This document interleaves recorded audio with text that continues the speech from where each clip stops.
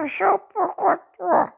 Eu recebi a missão de ficar aqui com a coordenação do estúdio da Gio.